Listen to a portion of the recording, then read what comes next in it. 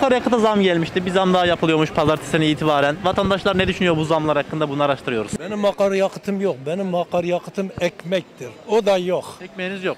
Yok ekmek. Niye abi? Emekliyim. 1750 lira para alıyorum. Elektrik parası mı verelim? Su parası mı verelim? Ev kirası mı verelim? Ben burada- 62 ya 60 64 yaşındayım, 65 yaşındayım. 65 ya- iş arıyorum. Kim bana iş verir ya? Kim bana iş verir? Gençler iş bulamıyor, ben mi iş bulacağım? Beni geç, yaşım 65, işim bitmiş. Bu gençlerin hali ne olacak? Emekliler bu durumda mı abi? Emekler hepsi ağlıyor. Yok, açlıktan ağlıyoruz. Yok, bitti.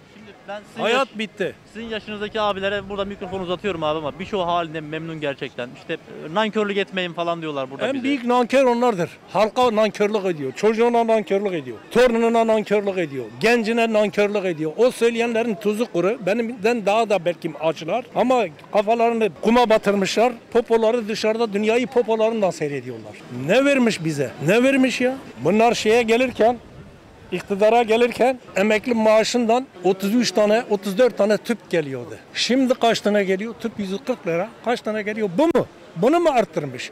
%8 vere vere mi arttırmış? %8'i bana veriyor. %20'yi %20'yi de elektriğe veriyor. Yani elektrikçiler bizi soyuyor. Halkımı niye soyuyorsunuz diye şey etmiyorlar. Sormuyorlar. Ama markete gidiyor, bakkala gidiyor. Ya en büyük zamı yapan sizsiniz. Hayat bitti artık. Bitmişiz ya. Bizi geç de gençlerimizin akıbeti ne olacak? Biz gençler. Umut yok. Ufuk karanlık. Biz geçtik. Ben gençlere üzülüyorum. Torunlarımıza, çocuklarımıza, öğrencilerimize. Neye olacak? Bize masal anlatmasınlar. Yaşımız 65. Her şeyi görmüş bir insanız. Feleğin çemberinden geçmişiz. Her şeyi görmüşüz. 1974'te bana diyorlar kuyruk vardı. Vardı kuyruk evet. Ben o günleri yaşadım. Neden vardı? Cebimde para vardı para. Tüp yok, şeker yok, yağ yok. Nedendir? Dış, dış güçler.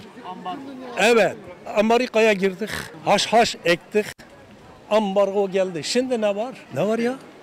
Ne ambargosu? Kim? Geç bunlar ama gençler korkuyor. Yani geleceklerin karanlık olduğunu bildiği halde gençler yani sitem edemiyorlar. Konuşamıyorlar gençler. Kork yani sindirdiler. Ben korkmam ya. İstediği yere beni götürsünler. Korka korka ne hale geldik ya. Dün de bir tane seyrettim. Bir tane milletvekili 2-3 gün önce diyor en büyük bursu biz verdik. Daha önce 45 lira alıyorlarmış öğrenciler. Üniversite öğrencileri 45 lira alıyorlarmış. Hakkı bu öğrencilerin hakkı 250 liramış diyor. Peki o 45 liradan o zaman bir buçuk çeyrek altın geliyordu. Şimdi ne geliyor ne? Ne söyleyelim bunun üstüne söz var mı? Sözün bittiği yerdeyiz biz. Hala kimsede ses yoksa reis dünya lideri. Dünya lideri. Lan 13 tane uçağın var. Türkiye yanıyor. Bir yangın uçağın yok senin. Satsa bir tane belki 20 tane yangın uçağı alır. Bir söz var. Ekmek yoktur yemeğe. Attan gidiyor bilmem ne etmeye. Sen halkına bak. Senin havan 1500 2500 olsa ne çıkar ya? Sen halka bak. Halk halk bitmiş. Bitmiş. Çocuklarınız, torunlarınız vardır abi. Onların geleceğini nasıl görüyorsunuz siz? Aranlık. Bu kadar umutsuz musunuz abi? O kadar umutsuzum ama bunlar giderse Türkiye cennettir. Cenneti kuruttular. Cennet bitti. Cehennem oldu. Türkiye'de yani vicdanlı merhametli kişiler var. Gelirlerse işi düzeltirler. Ya geçmediğimiz yolların parasını ödüyoruz. Geçmediğimiz Tavsiye edersiniz mesela beyefendi? efendim Kimi tavsiye edersiniz mesela?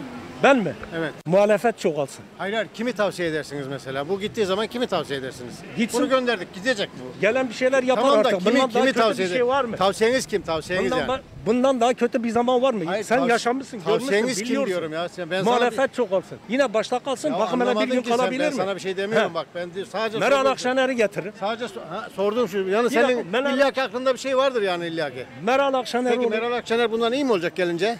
Bundan daha iyi. Geçmişini biliyor mu? Ne olduğunu biliyor mu? Bundan daha iyi He? dünya türküsü var mı? Biliyor mu yani sen Meral Akşener'in ne olduğunu? mı? Yaşamamışsın. Ben yaşadım. Ben 57 yaşındayım. Ben her şeyi Ben gördüm. 65 Ben yaşındayım. her şeyi gördüm. Sen gördün Ben peki. şimdiye kadar ben şimdiye kadar gördüğümün en iyi hükümeti bu. Yapmayın be, yapmayın En iyi, be. en iyi Yapmayın gördüğüm be. hükümet bu. Yapmayın. En iyi gördüğüm en iyi gördüğüm Cumhurbaşkanı bu. Yapmayın. Yapma. Elinizi Senin vicdanınıza tuz, koyun. tuzunuz Şu- şimdi-. Emekliyim 1750 lira para alıyorum. Neresi iyi? Ne iyi ya? bunlar- Benim babam emekli olurdu çalışmadı. 10 kişiye baktı. Şimdi ben kaç kişiye bakacağım? Şimdi Meral Akşener gelince senin maaşını 5000 lira yapacak. Yapacak. Yapılır. Var. Para çok. Yapacak. Devam et o Somali'ye zaman. 30 Devam milyar dolar Sen- göndermez. sen- sen devam devam zaman. edeceğim. Sen devam. Bitecek. senede iki Sen devam sefer zam vermiş? Ben yurt dışındayım. 10 senede 10 euro alıyorum. 10 euro alıyorum 10 Yurt senede. dışında mısınız abla? Evet. Neden orada yaşıyorsunuz? Buraya gezmeye geldim ama 10 senede 10 euro Yaşa. alıyorum. Buradan yaşa. Çoluk çocuğun torunu getir yaşasın. Yaşıyor. Dünyayı görsünler. Valla en güzel Türkiye'miz. Çoluk buradaki insanlara kötülük Hep ediyorsun. yanlış konuşuyorsun. Türkiye'den güzel hiçbir yer yok. 35 lira para var. Oralar ölü ölü ölü ölü. Öldürdüler. Şimdi Cehenneme Türkiye'miz şu çevirdiler. anda siz cennet. neden orada yaşıyorsunuz? Baştan konuşalım. Ben oraya gitmişim ta çocukluktan orada yaşamışım ama Neden ben dönmüyorsunuz Türkiye'ye? döndüm. 10 senedir buradayım ama biz Orada cennet. yaşıyorum dediniz az önce. Tamam orada gidip geliyorum. Niye gidiyorsunuz? Çocuklarımı görmeye gidiyorum. Ama burası cennet. Tabii cennet. Neye dayanarak söylüyorsunuz efendim bunu? Her şeyi güzel. Hangi anlamda yani? Her şeyi yemesi, içmesi, alışverisi. Almanya'dan yaptığım bir iş. Alışveriş, gıda alışverişini. Allah aşkına. Bir atıyorum bin lira ödüyorsunsa biz burada 10 yıllık şeye bin lira ödüyoruz. Yok hiç de öyle değil. Ya Çok senin yanlış bir şeyden haberin düşünüyorsun. yok. Sen uyuyorsun. Uyu uyu. Bak gördün. Ekonomiden haberin yok mu abi abla? Bak torunun ya. Güzel şu anda. Lan ne güzel emekliyim ben cebim. Ya Ne kadar Türkiye'de söyle. bir ücret 4000 lira oldu millet. Olsun. Millet lokantalarda geziyor. Hep lüks şeylerden alıyor. kardeşim ya. Lüks arabalar. Kardeşim Gel ben. bak. İdare Bu etsin de. çocuğun sonu karanlık. Umut yok. asgari ücret ne kadar söyleyebilir mi bize? Şu an Recep Tayyip Erdoğan karşısına sen de çıksan sen de çıkan sana oy veririm abi ben.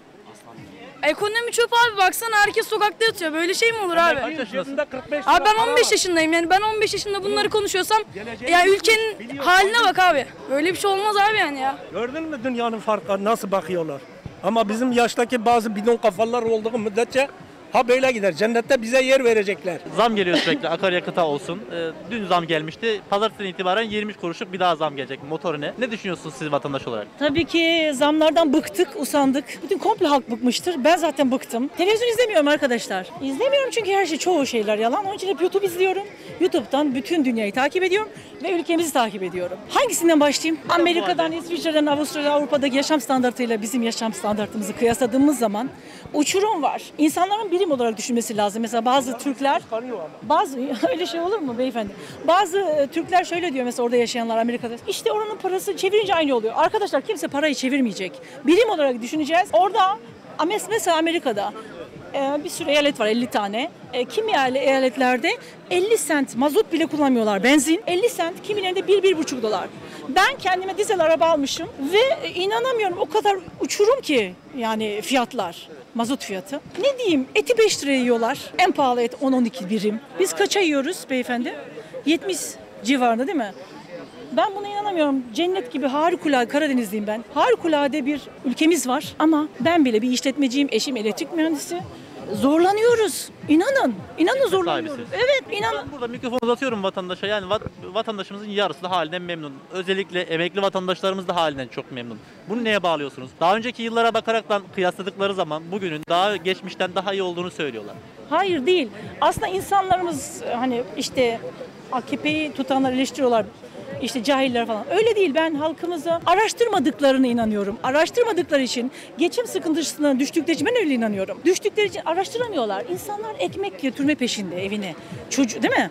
Araştıramadıkları için araştırabilselerdi her şeyi görürlerdi. Yani onun için arkadaşlar Avrupa'da, Amerika'da, Avustralya'da tekstil ucuz, gıda ucuz, Be- mazot yok zaten, benzin ucuz. Her şey ucuz ama biz bazen diyoruz nasıl yaşıyoruz ya bu pahalılıkta? Bugün bir takım sıkıntılar var.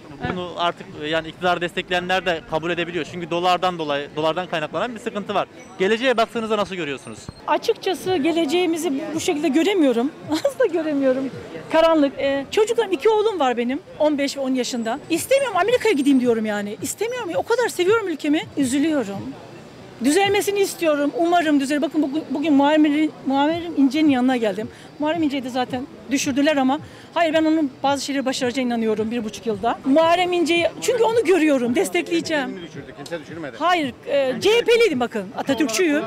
Kendi kendini düşürdü. Aa, şey, şey, e, Kılıçdaroğlu'nun suçu. Kılıçdaroğlu'nu hiç beğenmiyorum. Sadece e, muhalefet olayım.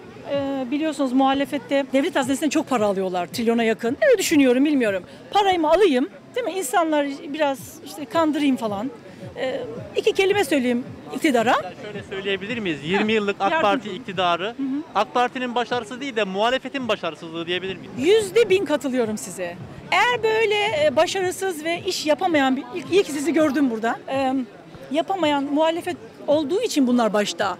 Yoksa ekonomiden bence hiç anladıkları yok. E, muhalefet başarısız onun için kimileri diyor ki Ay, ekonomide çok başarılı şunu yaptı bunu yaptı. Arkadaşlar zaten otoyollar otobanlar yapılır. Hepimiz vergi verdiğimiz için bizim bizim paramızla yani bizim paramızla yapılıyor. Yani işte onu yap, yapacak. Ama geçişler ücretli böyle bir durum var. Vatandaşlar bundan da şikayetçi bu arada. Geçişler ücretli evet e, ailem İstanbul'da yaşıyor ben İstanbul'da doğru düz gitmiyorum inanın bakın gitmiyorum. Bunları duydukça yani o şeyden köprüden ben müthiş parayla geçeceğim. Neden? Değil mi? Özal'ın ve Demirel'in yaptıkları sizin de söylediğiniz gibi herkesin söylediği gibi çok e, bedava ya da çok ucuz tam o bilgim yok ama bunlar uçurum yani her şeyi görüyoruz ya her şeyi görüyorum. Bıktım. Bıktım. Bıktım. Yani düzelmesi gerekiyor arkadaşlar. Bu nedir? Lütfen arkadaşlar biz yani işte e, yönetenler, şu anki maalesef yönetici, yöneticisiniz siz. Hiç istemiyorum ama lütfen ekonomiyi bilen insanlar, danışmanlar bulunsun yanınızda. Bu nedir? Halka bakıyorum. Bir de şunu söylüyorlar Allah aşkına. Laftan lafla atlıyorum mu? İşte halk dolaşıyor ya aç değil. Halk elinde poşet var ya aç değil. Yani ya da telefon.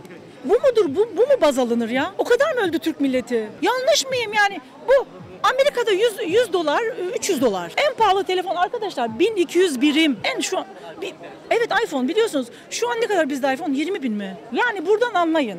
Lütfen doları, euroyu çevirmeyin. Birim olarak düşünün arkadaşlar hepiniz. İşte benzinin 50 centle 1-1,5 dolar arasında. 4 litreye yakın bu. Amerika'da mı yaşıyorsunuz? Benim akrabalarım Amerika'da. 4 litreye yakın. Yani haklısınız demek istiyorum aslında. Beyefendi ben kimseyi eleştirmiyorum ha bak. Akba, bak e, maalesef ben Karadenizliyim, Rizeliyim, o da Rizeli yönetenler. O yönettiği de bilmiyorum, o yönetmiyor herhalde.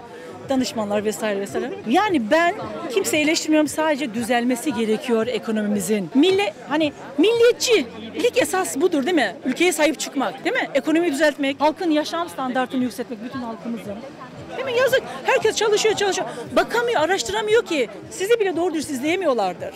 Çok, çok taraftarınız var biliyorum bir sürü de. Hani adam akıllı. Adam akıllı.